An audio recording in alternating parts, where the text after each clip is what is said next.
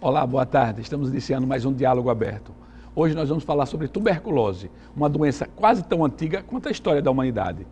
Se, se diz que no, no, Antigo Egito, em múmias do Antigo Egito, há mais de 3 mil anos antes de Cristo, já descobriram sintomas é, é, da, da doença. E agora, na, na, nas múmias também pré-colombianas aqui no Peru, foram encontrados vestígios da doença. Nós queremos conversar um pouquinho sobre essa doença. Para vocês terem uma ideia, a cada ano, cerca de 9 milhões de novos casos de tuberculose são diagnosticados e 1,7 milhões de pessoas morrem vítimas dessa doença no mundo todo.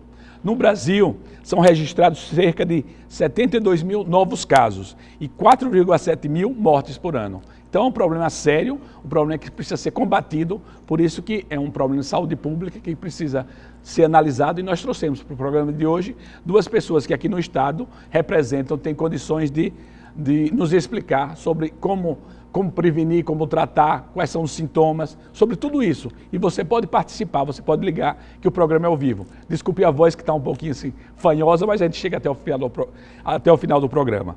Nós temos aqui Sônia Obadia, que é coordenadora estadual do controle de tuberculose, e Adriana Leal, que é coordenadora do Comitê Metropolitano de Tuberculose. Bem-vindas, é uma alegria tê-las aqui para conversar sobre esse tema. Sônia. Boa tarde. Nós aqui agradecemos, o prazer é todo nosso, da Secretaria de Saúde. Ok. E também a, a Adriana, bem-vinda. Obrigada. É realmente um prazer estar aqui, podendo esclarecer a população sobre essa doença. Pois é, porque no último dia 24 de março foi o Dia Mundial de Combate à Tuberculose, então a gente achou por bem trazer esse tema aqui para que o nosso telespectador, tanta gente que nos acompanha, assim a gente agradece, né? Toda a audiência, toda a preferência que vocês têm da TV Nazaré e do programa Diálogo Aberto. Vamos começar. Por que é tão importante, Sônia, o combate à tuberculose? Conforme você falou, resumidamente, os números no, do mundo, né? Quando nós vimos que um terço da população mundial está infectada, né? Quando em 2009 surgiram, né, aproximadamente é, 9,2 milhões de casos no mundo, né? Então você vê, é uma doença que se conhece desde os primórdios, desde a Bíblia nós temos noção da tuberculose, né?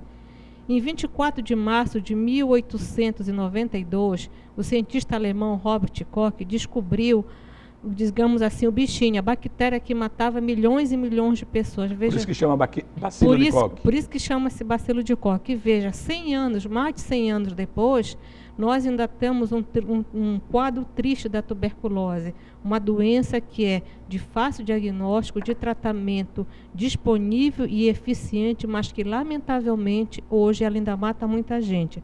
Para você ter uma ideia, é a primeira doença que está matando as pessoas portadoras de HIV/AIDS. Né? É a quarta causa de morte de doenças infecciosas no Brasil. Né? Então, quando a gente olha um quadro desse, nós vimos que realmente esse controle ele é super importante. Né? Muito embora o governo federal tenha desenvolvido ao longo dos últimos anos né? Ele implementou as ações para o controle desse agravo, porque se tinha aquela ideia o seguinte, de que a tuberculose estava esquecida. Ela estava, digamos assim, negligenciada, parecia que estava em controle, mas quando surgiu a epidemia da AIDS, que nós fomos ver que realmente a tuberculose existe no nosso meio, né? Então, por toda essa situação, que esses números são alarmantes, é importante que nós tenhamos condições de controlar mas para nós controlarmos essa doença, é importante que a população, de um modo geral, seja informada. Primeiro, sabendo que a tuberculose está aí, mas que é uma doença que tem fácil diagnóstico e tem cura. Tem cura, né? Porque tem essa cura. é uma pergunta que muitos fazem. É, muita tem gente cura? diz, não, realmente ela tem cura. E o esquema de medicamentos que o Brasil adota, ele realmente ele é eficaz, ele funciona. Agora, para que chegue à cura, é importante que o tratamento seja feito Bem corretamente. Feito. Nós vamos falar sobre o tempo determinado. determinado. Eu queria saber com a Adriana, e por que é tão difícil a erradicação dessa doença, Adriana? Na verdade, como você mesmo colocou, ela é uma doença milenar. Hoje a gente trabalha é, com a questão do controle da tuberculose e não da erradicação. Sei. Tá? Ela é muito difícil, é, o controle dela, porque ela é uma doença de transmissão via respiratória então, se você tem a tuberculose você está num ambiente fechado, ao você tossir, espirrar ou falar, você expele os bacilos e a pessoa que está do seu lado pode, ao respirar, contrair a, a doença. Então, por isso é difícil o controle. Hoje a gente é, é, vive em muitos ambientes fechados, é, os ônibus muitas das vezes ficam fechados, os, os bancos, os, todas a, a maior parte das nossas atividades são desenvolvidas em locais em ambientes fechados. Por isso a gente não trabalha com a hipótese de erradicação, mas sim de controle. Tanto certo. que o, o, programa é Programa Nacional de Controle da de Tuberculose. Controle, né? E por quê? Que, quais são os países, assim, para a gente ter uma ideia, quais são os países onde a, a, o problema da tuberculose é mais grave, é mais aqui na América Latina ou no, no mundo? Como é que Não, é a situação? Hoje, a situação da tuberculose, ela está concentrada, 80% da tuberculose está em 22 países. Sei. E o Brasil faz parte, infelizmente, desses 22 países. Atualmente, o Brasil ocupa o 19º lugar. Então, a concentração está na Ásia e na África, né? Países pobres ou países em desenvolvimento. A concentração maior está nesses países. Agora, quais são os fatores que mais contribuem para a proliferação desta doença? Bem, como a própria Adriana colocou aqui, a questão da transmissão dela, né? Pelo fato pela facilidade pela de facilidade de transmissão dela. Outra coisa que nós vemos assim, condições de moradia de habitação. Geralmente, pessoas que moram em, em casas muito pequenas, às vezes um cômodo só, né? com uma família numerosa, né? não tem condições de higiene e saneamento, enfim, tudo isso contribui. Para a tuberculose é uma somatória de fatores que ajudam com que ela se prolifere ainda mais. Quer dizer que existe um, perfil social que está ligado à questão existe, da tuberculose. Existe. Quer dizer, é uma coisa que está muito ligada à outra. Está muito ligada. Tem essa questão social da tuberculose, tem isso. Muito embora qualquer um de nós possa ter a doença. Né? Uhum. Nós poderemos, nós aqui, poderemos estar infectados já com bacilo, porque a gente convive por aí. Um dia que nossa, a nossa imunidade diminuir, nós podemos ter a tuberculose. Mas é claro que tem possibilidade de outras pessoas que não têm condições de saneamento, de moradia, de habitação, que elas podem ter mais facilidade, estão mais expostas a isso. Né? As pessoas que é, enfrentam o problema da, da, da fome, né, da falta de alimentos, e tudo são fatores ou, que ou contribuem. ambientes insalubres. A gente sabe, por exemplo, também. que nos presídios, né, nos presídios do, do, país, diz que o, o índice de, de, tuberculose altíssimo, né? é uma coisa gravíssima. É, é em torno de 30 vezes maior do que na população que está fora. Por quê? por causa das condições, são células minúsculas que não têm ventilação, né? Então, é, programado uma célula para ter 10, 20 pessoas, tem vezes tem 30, 40, 50, então uma pessoa ali tossindo, né? Eliminando o bacilo, claro que a prolifer é, é, é maior risco de outras pessoas maior pegarem risco, com mais né? facilidade. Adriana, quais são as principais características da doença? Como Se você já, tivesse definir. Já disse, são? é uma doença é, infecciosa que a gente chama, transmitida por via aérea, né, que afeta principalmente o pulmão. A maior parte, parte dos casos que a gente diz é, são pulmonares, mas pode afetar qualquer parte do corpo. Né? A gente costuma brincar que tuberculose só não dá. Começa com o pulmão, ou não? Não ela pode, o bacilo pode se instalar no pulmão. Certo. É preferencial porque ele gosta de, é, de oxigênio. Certo. Tá? Mas ela, ela pode ser desenvolvida em qualquer parte do corpo. A gente costuma dizer que tuberculose só não dá no fio de cabelo e na unha, mas nas outras partes do corpo ela pode ser, é, atingir, o bacilo pode atingir qualquer parte do corpo. Agora, depende do que? Da umidade do ambiente, depende para esse bacilo se instalar. Quais são, as, assim, as, os elementos hum. mais vitais para que aconteça assim. Ele, ele, tem preferência pelo pulmão, né? Sei. Mas a pessoa que está bastante debilitada, o sistema de defesa dela dela está bastante debilitada, ele ao, ao entrar pela via aérea ele vai se instalar em qualquer órgão. Por isso que, inclusive nos pacientes é, com AIDS, é, as formas mais comuns são as formas que a gente chama extrapulmonares, porque aquele paciente está bem debilitado então o organismo dele está praticamente sem defesa e o bacilo se instala, pode se instalar em qualquer órgão. Quer dizer, então, depende muito da, do organismo para esse bacilo se desenvolver. Porque se o organismo, é, é uma pergunta que eu faço, né? se o organismo estiver muito debilitado, como vocês falaram do caso do, do, do quem tem o problema da AIDS, é, é mais fácil da, daquela doença se desenvolver. Ou, é. por exemplo, uma pessoa que tem mais saúde, coisa, é mais difícil dele se desenvolver ou não, tá? sujeito aos mesmos problemas. Não, é como a Adriana colocou para você. Por exemplo, eh, nós dissemos que todos nós, um dia, já entramos em contato com o bacilo, ou seja, no ônibus, no supermercado, num posto, seja lá em qualquer lugar que nós tenhamos ido, que tenha muita gente, que tenha alguém por lá, que tenha tossida e tal, nós pode, já entramos em contato com ele, né? Então, se vai adoecer, vai, pode adoecer de imediatamente, ó, nos dois primeiros anos ou três, ou ao longo da vida, a partir do momento em que a deficiência orgânica tiver diminuída, entendeu?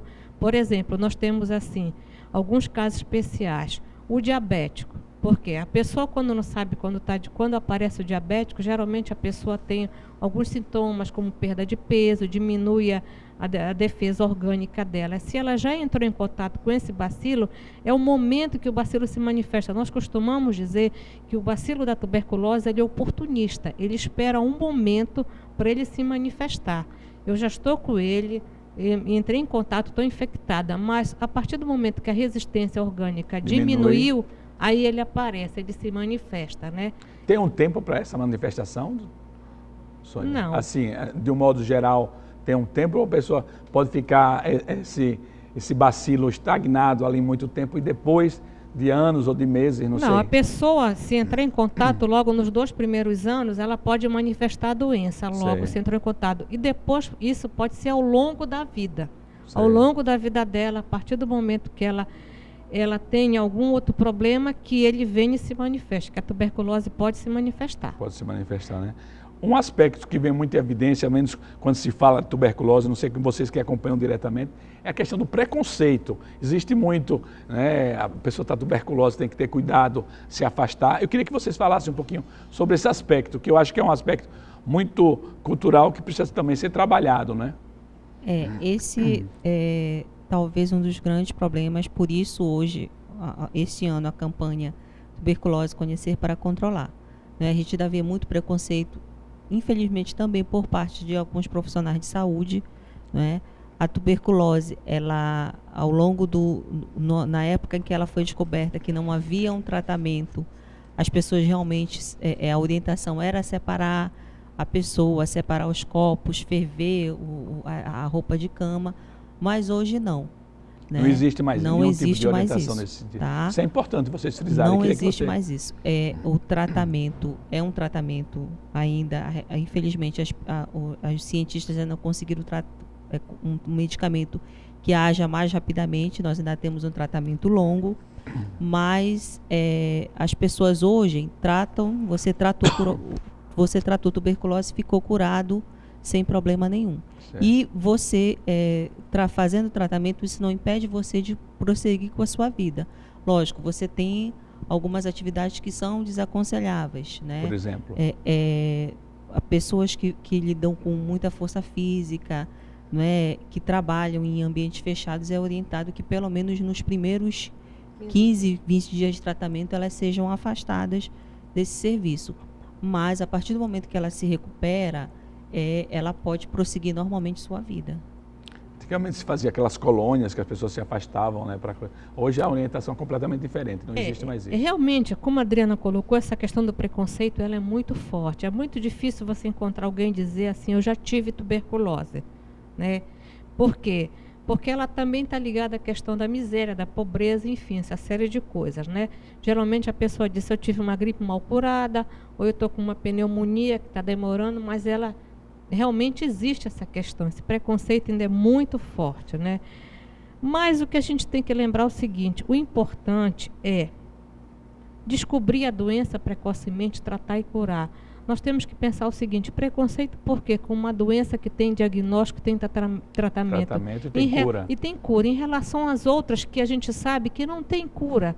Aí diz, é, o tratamento é longo, são apenas seis meses. E aquelas outras doenças é, que obrigam a pessoa a tomar remédio a vida toda. Por exemplo, quem sofre de pressão alta, que é o hipertenso, ele vai tomar o remédio a vida toda. E ele não vai ficar curado, ele vai ter o controle. Já no caso nosso da tuberculose, não, são apenas seis meses que vai chegar a cura. Né? Então, isso é que é importante que as pessoas que estão nos assistindo... as pessoas pensam que é um, é um tratamento longo? Longo. O que, é, o que é que dificulta, assim, no sentido de, de, de, é, é, essa observação do, do tratamento, que é fundamental Por que, que porque seis meses é uma coisa muito rápida. É. Por que, que as pessoas têm receio? O que, o que, que acontece O que- concretamente? Que O você que, que acontece concretamente? Por que, que muitas pessoas não aderem ao tratamento até o fim, ou seja, o abandonam o tratamento? Porque quando acontece? A pessoa quando está com tuberculose, se ela está apenas com tosse por três semanas ou mais e procurou uma unidade de saúde, foi feito o diagnóstico, se diz que o caso dela foi descoberto precocemente, né? Mas se ela já estava com a febre, né, já tinha febre durante a tarde, um cansaço, falta de apetite, teve emagrecimento, né, a pessoa está no estado de fraqueza geral. Ela iniciou o tratamento por tuberculose. Se ela é uma forma transmissível, com 15 dias tomando a medicação, ela deixou de transmitir. Com um mês, ela já praticamente não tem mais sintoma nenhum. Aí já no dois já melhora, já, já engorda, já ganha peso e tal. Com três meses, ela diz: Ah, não sinto mais nada, eu estou curado. Aí interrompe o tratamento, Pensando que já está tudo pensando que está ok. Não, mas como a Adriana frisou, infelizmente ainda não temos nenhuma vacina que previna, nenhum, doc- nenhum tipo de medicamento que dure menos tempo de tratamento. Ainda são seis meses. Então, por isso que é importante que não se interrompa o tratamento, que com três meses a pessoa já não sente praticamente nada, né? Sim. mas ela tem a fase da manutenção. O tratamento de seis meses é em duas fases. A primeira fase que nós chamamos que é a fase de ataque, né? que é a Quer dizer, medicação mais violenta mais para violenta, poder. que é para atacar mesmo, para destruir o bacilo. E os quatro meses restantes são fase de manutenção, para realmente eliminar tudo que não possa ter ficado. Sei. Então, daí que a importância de ser feito durante os seis meses. É, isso é importante frisar, né? Vamos falar um pouquinho de números, Adriana. Como é a situação aqui no estado do Pará, da tuberculose? Eu queria que você fizesse um apanhado geral assim da situação desses últimos anos. Olha, nos últimos anos a gente tem tido uma média de 3.300 casos no estado do Pará. Hoje no Pará, eh, a tuberculose basicamente está concentrada dentro da região metropolitana. Na região metropolitana. Isso. Se nós juntarmos Ananindeua e Belém, eles respondem por 50% dos casos. E os demais é distribuído pelo, pelo Estado. Né? Hoje, o Ministério elenca o que eles chamam de municípios prioritários para o controle da tuberculose. São 181 no Brasil. Nós temos sete, né? Três dentro da região metropolitana, que é Ananindeua, Belém e Marituba. E aí nós temos os outros quatro, que é Abaetetuba, Castanhal, Bragança e Santarém. Certo. Então, esses sete concentram 60% dos casos. Nós do- vamos do conversar estado. mais sobre isso no próximo bloco, tá certo? Eu queria lembrar você que está nos acompanhando que o programa é ao vivo. Se você quiser ligar, fazer, tirar sua dúvida, fa- fazer alguma pergunta, as nossas convidadas é 4006 9200, 4006 9258. Vamos para o apoio cultural e retornamos logo em seguida. Estamos de volta com o Diálogo Aberto, hoje conversando sobre tuberculose e o controle da tuberculose. Nós temos duas convidadas, pessoas apropriadas para nos explicar sobre isso, porque é a coordenadora estadual e a coordenadora aqui do Comitê Metropolitano, Sônia Obadia e Adriana Leal. Então, Adriana, você estava falando no, no primeiro bloco sobre a questão aqui no estado do Pará. Eu observei pelos nomes que você dizia dos sete municípios, eh, Belém, Ananindeua, Abaetetuba, Bragança, Castanhal, Marituba e Santarém. Praticamente coincide um pouquinho com os grandes centros. Por que isso? O- a- as principais cidades do Pará. Tirando Altamira, praticamente, não é? É, na verdade, é, Altamira já fez parte dessa lista, hoje não está. Mas coincide muito com o que a gente chama de perfil do paciente de tuberculose. É aquela pessoa que vive em grandes centros urbanos, né? E que, na verdade, são pessoas que muitas das vezes vêm para a capital é, em busca de trabalho tudo, e acabam não conseguindo esse trabalho e vão morar em, em situações, uma, moradias difíceis, sem saneamento, e isso favorece é, a desenvolvimento da tuberculose. Sei. Ah, por isso que tem essa proliferação, coincide. Esses sete municípios, e- é, existia um número maior, Sônia, de municípios paraenses que estavam nesse rol e depois diminuiu para sete, como é essa? Já no começo, o Ministério da Saúde ele- elencou 351 municípios. Já aí foi a época que nós tivemos 11 municípios, que incluíam-se aí Altamira, Marabá, Redenção, Paragominas e Paragominas. Mas quando o Ministério da Saúde fez uma redistribuição, fez um novo estudo epidemiológico, porque ele considera o perfil número de casos, né, considera a questão da cura e o abandono, ele viu que esses municípios, eles realmente saíram desta relação, porque tiveram uma melhora nos seus programas de controle, né? Então saíram. Então hoje em dia são apenas esses sete. Certo. Esse, esse cuidado especial, essa atenção que o Ministério da Saúde dedica a esses municípios, quais são os fatores que levam a isso? É por causa desses números? Por causa, por de... causa desses números, quando eu falei, a questão do número de casos, né? a questão do, dos percentuais de cura e de abandono de tratamento. Né? Tudo isso. E qual é o mais assim, o mais acentuado, que se nota justamente para esse combate, para esse tratamento, se vem, vem mais em evidência desses, desses vários elementos? É a questão principalmente de, do, da cura e do abandono. Sei. Agora, quais são as principais dificuldades, Adriana, no combate aqui na, na aqui na nossa região, né? Porque você me parece que o, o, Pará é um dos, me parece que é o terceiro, né? Em nível nacional é o terceiro que está nessa, se eu não me engano, daquilo que eu li. Nós estamos em terceiro incidência a nível nacional. Né? Os dois primeiros é Rio de Janeiro e o Amazonas. Certo. É, mas na região norte, em número de casos, nós somos o primeiro, né? porque a incidência é número de casos pela população. Então a gente acaba caindo por terceiro porque a nossa população é, é maior do que a do Amazonas. Do Amazonas. E né? a nossa capital, Belém, também é a terceira em incidência. Incidência né? em nível de capital? Em nível de capital também nós estamos em, em, é. em terceiro em incidência. A grande dificuldade é, apesar da gente, teoricamente, a gente imaginaria, poxa, mas é a capital, a Nanindeu está aqui próximo, os, os acessos é, os acessos. Né? Certamente muito telespectador está fazendo essa pergunta. Como porque... é que nas cidades que tem mais acesso a, ao tratamento? Mas é como a gente já hum. comentou, é um tratamento de seis meses. Né? Esse paciente ele precisa ser bem orientado, porque a gente sabe que se ele, a partir do momento que ele inicia o tratamento, ele regride os sintomas. Então, se ele perdeu peso, ele ganha peso com um mês de tratamento, dois meses. Se ele estava tossindo, ele deixa de tossir. Então, ele precisa ser orientado. Ele precisa passar por um boa, uma boa consulta de enfermagem, uma boa consulta médica para entender que ele vai melhorar, mas que ele ainda tem bacilos ali, que a gente diz popularmente, incubados e que precisam de mais quatro meses para que ele fique completamente curado. E é essa a dificuldade. Né? A gente não consegue fazer isso.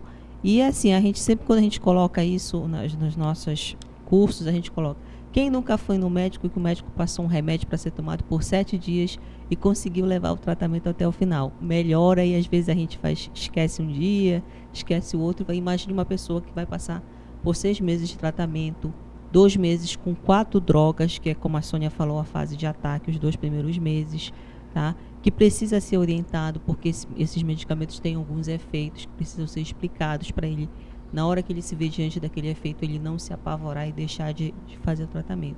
Então a gente ainda tem muita dificuldade nisso, de esclarecer o paciente. É um paciente que tem ainda um perfil que é, tem uma, uma escolaridade baixa, né, geralmente de primeiro grau ou primeiro grau incompleto. Vocês é, explicam essa dificuldade da, do, do, entendimento do paciente, coisa assim, a, a que elementos? Essa questão do, da, da educação também, mas também pelo fato do profissional é, não se dispor a explicar isso.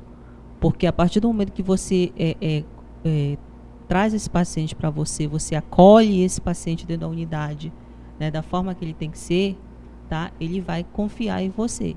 Mas se você, a gente tem uma modalidade de tratamento que a gente chama de tratamento diretamente observado.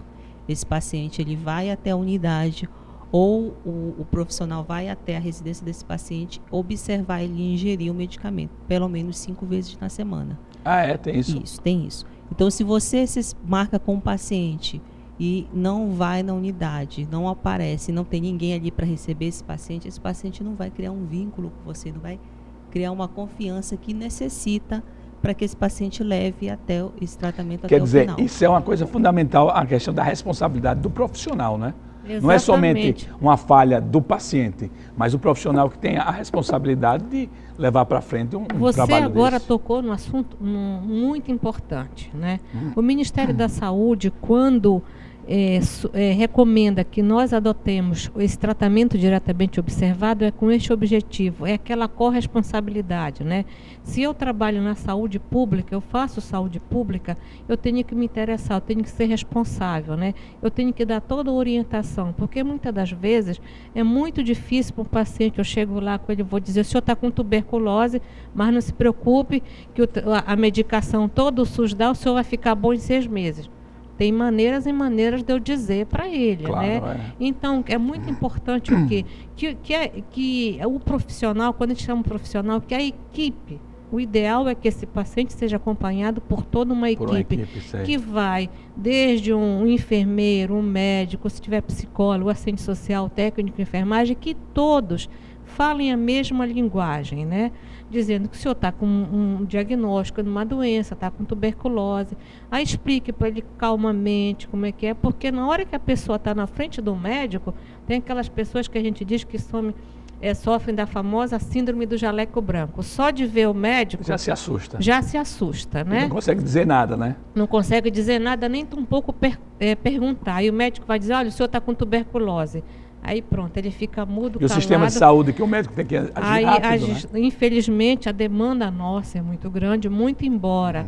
é, vamos dar o exemplo aqui da capital, né? Nós temos várias unidades de saúde atendendo até nos outros municípios nossos, que o programa está descentralizado, mas infelizmente a demanda é muito grande. Aquele profissional que está atendendo tem uma cota para atender. Então, às vezes, não dá para explicar, para conversar. Então, o trabalho que hoje a coordenação faz, quando faz os treinamentos, as capacitações para a equipe, é nesse sentido. Sei. Não é só para tuberculose, a CESP adota de modo geral a questão da humanização do O tratamento. tratamento é fundamental hoje, né? acolher- Acolhida, no acolher. sentido. É. Vamos supor, se você vai, tem o seu plano de saúde, você vai no médico, chega lá, o médico nem lhe dá atenção, você já não volta mais nele, você vai procurar outro. Mas o usuário da rede pública, lamentavelmente, ele vai ter que recorrer àquele sistema. Então, se ele não é bem recebido, bem acolhido, ele dificilmente volta lá. né? Agora, como é que tem sido esse trabalho de conscientização dos profissionais? Olha, Como é? Porque é, é um problema sério que você É. dizia e, e precisa ser trabalhada. Como é que é feito esse curso, capacitação, para que o profissional esteja realmente em condições de acompanhar situações como essa? Nós agora, nós estamos, o Estado, né, dentro das suas atividades de coordenar, gerenciar a execução da política da tuberculose no Estado do Pará, é uma coisa que nós fazemos muito, não só no programa da tuberculose, todos os programas da Secretaria de Saúde, nós in- investimos muito em treinamentos e capacitações, até por conta de que tem muita rotatividade de pessoal, né? Certo. Então, hoje nós fazemos um tipo de treinamento que nós chamamos atitudes e práticas em tuberculose, né? Que é nesse sentido, nós vamos discutir a questão do preconceito, do tratamento, né? No sentido de que o profissional pro- procure se colocar no lugar daquele paciente, de veja como é difícil você receber um diagnóstico desse, né? Claro. Para que ele entenda Já e existe o preconceito isso, de fora. Existe o E preconceito o próprio de fora. preconceito, a pessoa pensa que, não, É. que está marcada para morrer, vamos dizer. Como a Adriana falou no, agora, no outro bloco, no- é, não precisa separar louça, talher, nada, não precisa nada, tem que acolher. Porque da feita que se descobriu que a pessoa está com tuberculose, não adianta separar que nada vai resolver. O que tem que ser feito são as pessoas que moram com ele serem examinadas. Então a pessoa tem que ser acolhida também, uma coisa muito importante, pela própria família. Nós temos é, casos de um pessoas né? de pessoas que omitem das suas famílias que estão com tuberculose. Então, é importante que não só a equipe de saúde acolha esse paciente, mas principalmente, especialmente a família, porque é nela, elas que nos dá apoio, que nos dá atenção, que nos dá carinho, porque a pessoa pode pensar o doente, poxa, será que eu vou passar tuberculose para o meu pai, para minha mãe, para o meu filho? Infelizmente, se isso acontecer, a culpa não é dele. Assim como ele pegou outra pessoa, ele pode passar se ele for uma forma é, transmissível. O que é importante aqui que a pessoa com tuberculose não esconda da sua família, procure o apoio da família e que as equipes de saúde também acolham, façam um tratamento, um acolhimento humanizado para o seu doente de tuberculose. Adriana, existe uma faixa etária, por exemplo, aqui no estado do Pará, que se destaca mais a questão da tuberculose? É, hoje a gente é, fecha o perfil do paciente, né, entre 15 e 40 anos de idade, ou seja, é aquela fase em que você está saindo, está estudando, está é, buscando um emprego, né? E a questão também da escolaridade ainda é concentrada numa faixa, numa faixa escolar baixa entre primeiro grau ou primeiro grau incompleto.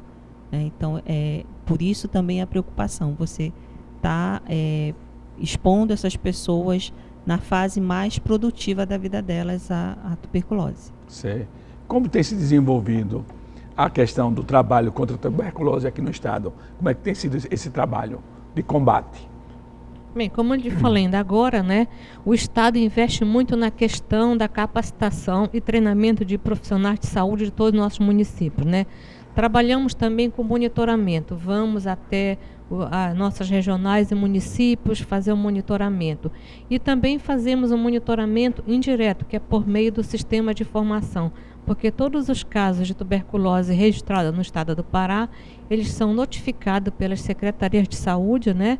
Um sistema próprio e isso chega até nós. Então nós monitoramos, ver como é que está a questão do diagnóstico, de tratamento, da cura, enfim, de tudo que envolve o, a questão da informação. Eu queria entender melhor. Você falou quando tem um acompanhamento do profissional em relação ao paciente, esse profissional acompanha na, na própria residência do paciente. Eu queria que você explicasse melhor é. isso. Porque algumas pessoas perguntaram isso. Parece que vai em casa. É. E é, nós temos assim, para a estratégia saúde da família, né, nós temos os agentes comunitários de saúde e tem também a própria equipe. Então, esse tratamento diretamente observado, que o Ministério recomenda que se faça, ele pode ser feito, digamos assim, de três modalidades. A primeira é que o paciente vá, compareça à unidade de saúde, né? É, de preferência seja diariamente, de segunda a sexta-feira, chega lá um profissional, né? É, observa a ingestão da medicação, dá a medicação para ele, tá bom? É, a outra modalidade seria, por meio da estratégia saúde da família, que um agente comunitário de saúde fosse diariamente na casa do paciente para observá-lo a tomar a medicação.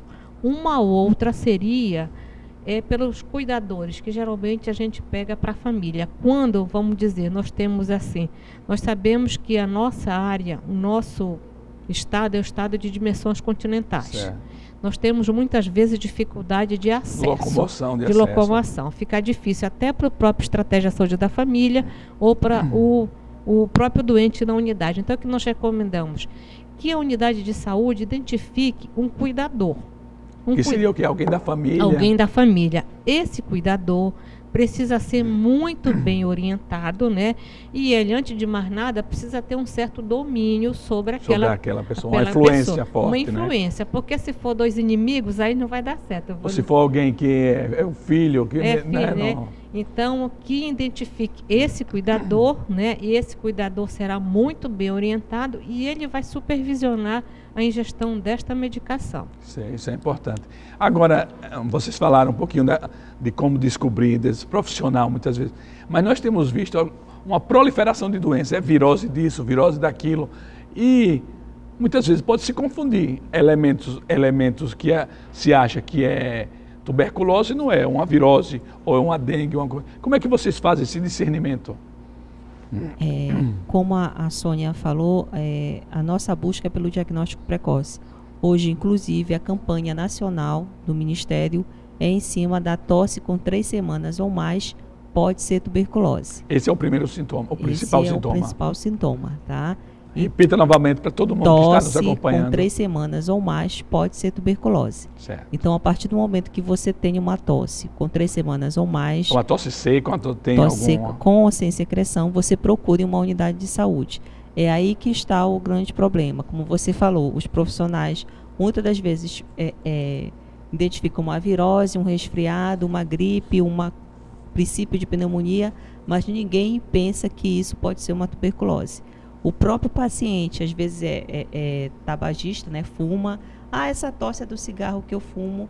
Não pode imaginar que aquilo ali pode ser uma tuberculose. Então, a nossa grande é, é, campanha hoje é em cima dessa situação. A identificação precoce, que é nessa situação. A tosse por três semanas ou mais, você tem que pesquisar se não é tuberculose através do exame do escarro, né, que a gente chama de baciloscopia. Certo. Eu gostaria de reforçar isso que a Adriana colocou, porque nós temos um costume muito errado de se automedicar. Né? Ainda bem que a questão dos antibióticos, isso aqui agora virou, virou lei não pode, né? Certo. Mas muitas vezes a pessoa está com esse sintoma de tosse por três semanas ou mais, vai numa farmácia, fala com o farmacêutico, com o atendente, ah, eu quero um xarope. Então a gente pede também, aproveita a oportunidade aqui no programa, que é ao vivo, que esses profissionais que trabalham em farmácias, se identificarem uma pessoa que seja lá que diga, eu estou com tosse, há quanto tempo? Pergunta por três semanas ou mais, não recomendem nenhum tipo de medicamento. Que recomendem que procure uma unidade de saúde, saúde, um posto de saúde. Isto é muito importante também para nós. Certo. Nós vamos continuar conversando no próximo bloco. Vamos dar mais uma pequena pausa. Para você que nos acompanha, dá beber uma aguinha, como eu vou beber também agora. Depois a gente retorna no terceiro e último bloco, ok? Estamos de volta no terceiro e último bloco do Diálogo Aberto. Obrigado por você estar acompanhando, mesmo escutando essa minha voz um pouco estranha assim, mas o, o, o tema é importante, é fundamental que todos nós tenhamos consciência do que pode ser trabalhado e a sociedade como um todo, a população, pode ajudar bastante nesse trabalho. Nós temos aqui a Sônia Obadia e a Adriana Leal, que são coordenadoras estadual e metropolitana do, do combate à tuberculose. Vamos falar um pouquinho é, Sônia, sobre o tratamento, a prevenção, a identificação. Eu queria que você falasse os principais sintomas da, da tuberculose e como pode ser esse combate.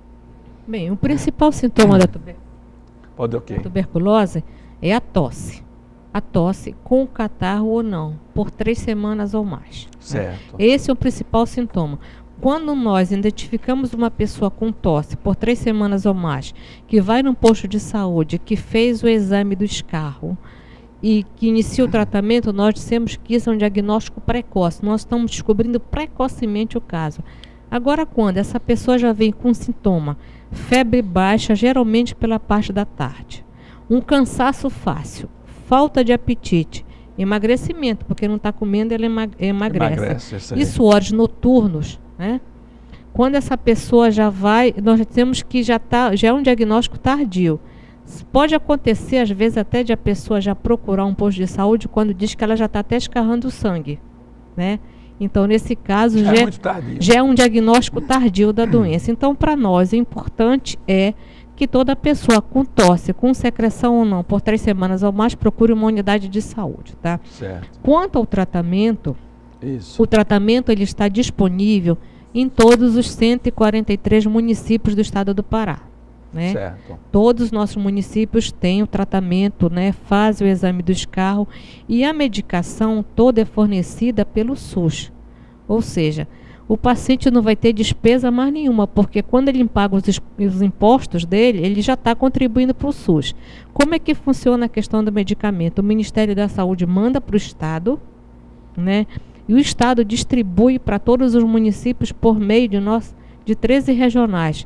O Estado é dividido em 13 regionais de saúde. Sim. Então, a coordenação estadual distribui por trimestre para as regionais e essas repassam para os seus municípios, que repassam para suas unidades de saúde. Certo. E é uma questão do medicamento que há muitos anos nós não enfrentamos problema de falta de medicação. Não falta medicamento. Não, a medicação ela está disponível em todas as unidades de saúde. Tá? Certo. Tá, tá tranquilo. A questão do tratamento. O tratamento dura seis meses. Certo. Né? E o paciente é avaliado, se o tratamento não for diretamente observado, se for auto-administrado, auto-administrado o que é? O paciente leva a medicação para casa e fica tomando. É uma coisa que nós estamos trabalhando para que isso diminua cada vez mais. Quer dizer, isso precisa trabalhar com é, o profissional e com o paciente. É, para que os municípios, porque nós temos que ver o seguinte, os municípios também têm que ter condições para poder oferecer esse tratamento, claro. né? Então, nós estamos trabalhando para isso, para que todo município aumente cada vez mais o número de pessoas no tratamento diretamente observado. Ela toma o remédio, o tratamento é dividido em duas fases. Dois meses, que nós chamamos a fase de ataque, que é para realmente matar todos os bacilos. Certo. Né? E na fase de manutenção, que são de quatro meses. Né? Terminada essa fase, o paciente faz o exame, dando, dando negativo, né, ele recebe alta totalmente curado. Agora, uma questão importante aí. Toda pessoa que mora com um paciente doente de tuberculose também deve comparecer na unidade para ser examinado, que nós chamamos que é o exame de contatos, que são aquelas pessoas que coabitam com o paciente de tuberculose. Mas somente se aparecer um desses sintomas. Não, ela deve ir na unidade, e lá na unidade ela deve ser orientada né, para o que for necessário. Porque muitas das vezes nós podemos ter um caso de tuberculose, né, identificamos numa pessoa daquela casa, mas não pode, pode ser que aquele caso não tenha sido o primeiro, pode ser que naquela casa tivesse um outro caso certo. e que não foi diagnosticado a tempo. Então é importante Então é importante procurar. procurar a unidade de saúde para também ser examinado. Adriana, e no caso da pessoa interromper o tratamento, né, se esses dois primeiros meses a pessoa é, é o tratamento mais forte, aí se sente melhor e deixa, abandona, o que é que acontece? É, esse é um dos nossos, que a gente chama um dos dois grandes problemas que a gente enfrenta hoje né, é, no controle da tuberculose. A pessoa que abandona o tratamento, ela ao retornar, ela já pode vir com esse bacilo que a gente chama bacilo resistente. Ela desenvolveu uma esse, a, o bacilo dessa que está nessa pessoa desenvolveu uma resistência a uma dessas medicações. Então ela vai, ele vai precisar é fazer o tratamento. É mais difícil ser, ser curado. É um outro tratamento, é um tratamento mais duradouro ainda. É um tratamento de pelo menos 18 meses de tratamento, tá? E essa pessoa pode curar? Cura, tá? Mas é um tratamento mais longo, é um tratamento que requer, inclusive, drogas injetáveis, tá? Vai ser muito mais complicado, né? Existem outras é, é, consequências, esse paciente vai curar, mas ele pode curar com o que a gente chama de sequelas, ele pode ter, ficar com uma tosse crônica, perder uma, a capacidade respiratória. Então, por exemplo, se ele trabalha é, é é, construção civil, ele vai deixar de trabalhar porque ele não vai ter mais condições, condições de, de ter tanto esforço físico. Certo. Então esse hoje é um dos nossos grandes problemas. A gente sabe o, o estado hoje no, a nível de Brasil é o quarto estado que mais notifica casos de tuberculose que a gente chama multiresistente. Multiresistente, que permanece. É, mas também é um dos estados que tem uma melhor estrutura para procurar esses casos. A gente procura esses casos, é, mas é, está nos preocupando essa questão. O abandono hoje nosso é preocupante e os casos de, de resistência estão surgindo. Então a gente está correndo risco tá crescendo de, mais tá esse, crescendo esse, índice, né? Esse índice nós estamos correndo o risco de é, é, voltar aos tempos em que a tuberculose, né, não não tinha é, é controle. controle. Então, até porque esse paciente multiresistente, ele vai transmitir essa, esse bacilo multiresistente. Então, se você tiver aqui é, com um paciente de tuberculose multiresistente, você não vai pegar a tuberculose que a gente chama a, a mais simples. Mais simples. Você vai pegar a tuberculose multiresistente. Certo. Então, por conta disso, a, a grande preocupação em tratar os casos e diagnosticar precocemente e tratar o mais rapidamente possível. Então é importante a gente esclarecer, você que está nos acompanhando, observa ao seu redor, porque cada pessoa é responsável de acompanhar e trabalhar para que a sociedade né, supere esse problema da tuberculose. Eu queria saber, Sônia, você falou que o tratamento é de seis meses. Uhum. Seis meses, no modo geral, liquida a situação, a pessoa fica, ou a pessoa pode ter um retorno à doença, voltar a pegar a tuberculose. Pode, pode. Se a pessoa pode ser infectada novamente, pode sim, ela pode novamente entrar em contato com o bacilo, né? E tiver uma situação e ela pode, pode adoecer de novo, é que nós chamamos de recidiva. Certo. Quer dizer, a pessoa curou, né? Mas depois de um longo tempo, ela pode voltar a ter, porque ela pode entrar novamente em contato e se contato, infectar. Pode. Então pode. vamos falar da prevenção. Quais são as dicas que vocês dão em relação à prevenção da doença? Bem, com relação à prevenção, o que é que nós temos para as crianças, né? Então, toda criança ao nascer, ela já deve fazer a vacina BCG. Isso vai fazer com que a criança no futuro não tenha as formas graves da doença. Que é a forma grave que pode levar até óbito. Não significa que a criança não vai ter a doença, não. Como a Adriana falou logo no começo, infelizmente ainda não chegamos à vacina para prevenir tuberculose. Não tem. Ainda não tem Apesar no momento. de ser uma doença tão antiga. Tão antiga, está sendo estudos, estão vendo, mas infelizmente ainda não chegou. Esperemos, esperamos que em breve chegue, mas ainda não chegou. Então, a única prevenção para as crianças, logo ao nascer, elas devem ser vacinadas com vacina BCG para evitar que no futuro elas tenham forma grave da doença, né? Agora uma coisa muito importante também é, nas casas, casas arejadas, né? Às vezes nós vemos casas pequenas que ficam fechadas. Se eu tô, tem uma pessoa com tuberculose na casa, não se deve fechar a casa, muito pelo contrário, deixa o sol entrar, porque o bacilo não resiste ao sol. Ah, isso é importante. Não, ele não resiste ao sol. Por exemplo, ele gosta de ambientes frios. Por que, que ele, ele 90, e a umidade de Belém é, aqui da, da Por que, que 90% dos casos de tuberculose são no pulmão? Porque é uma área fria, uma área que ele gosta, ele fica lá, né? Mas ele exposto ao sol, ele não dura.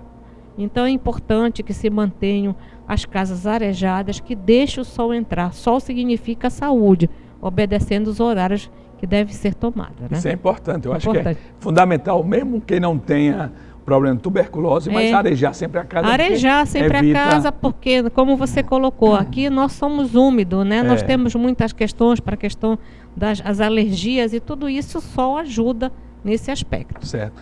Você é, é, Adriana, você é responsável do Comitê Metropolitano. Eu queria que você explicasse o que é esse Comitê Metropolitano. O Comitê Metropolitano é uma proposta do projeto Fundo Global, que é um projeto internacional que atua em três, é, grandes, em três doenças, é, apoia os programas é, de países de três doenças, AIDS, malária e tuberculose. Certo. E o Programa Nacional apresentou um projeto para o Fundo Global. Esse projeto foi aprovado em 2007. Em 2007, em 2008, o projeto começou a atuar em 57 municípios do Brasil, em 10 estados. E aqui no Pará, é, dois municípios nossos foram selecionados, tá? Belém e Ananindeua. Não foi uma escolha nossa nem do Ministério. O Ministério apresentou para o projeto o nosso banco de dados com as nossas informações sobre a doença e o projeto, o Fundo Global, é, escolheu esses 57 municípios. Então, é uma Sim. proposta. Qual é a, a, o grande objetivo do Comitê Metropolitano? É trazer para junto das organizações governamentais a sociedade civil.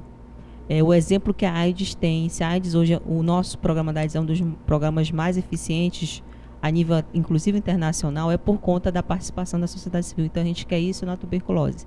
Né? Então, o, o comitê é formado por organizações governamentais e não governamentais e a nossa função hoje é disseminar, disseminar informações sobre a tuberculose. Certo. Né? Tanto que o, o, nosso tema hoje é tuberculose conhecer para controlar. Conhecer para controlar, né? É importante.